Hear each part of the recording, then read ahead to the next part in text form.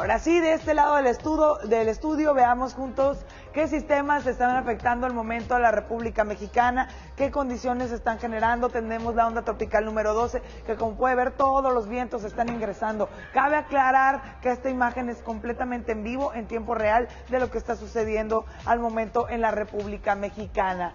Toda la zona del suroeste, península de Yucatán, se esperan precipitaciones, además de que en nuestra zona sur de Tamaulipas los vientos que se van a estar registrando durante la mañana van a ser en total y completa calma. En la costa del Pacífico Nacional, igualmente algunas lluvias intermitentes. Zona central, ya están amaneciendo con un termómetro más frío, con una mínima entre los 13 y 14 grados centígrados, ya durante durante la tarde, alcanzando unos 20-22 grados centígrados. Para el occidente, algunas precipitaciones igualmente, franja fronteriza de Tamaulipas, Nuevo León y Coahuila, tiempo seco, estable y un termómetro caluroso igualmente, pero más cálido para el noroeste del, territorio nacional.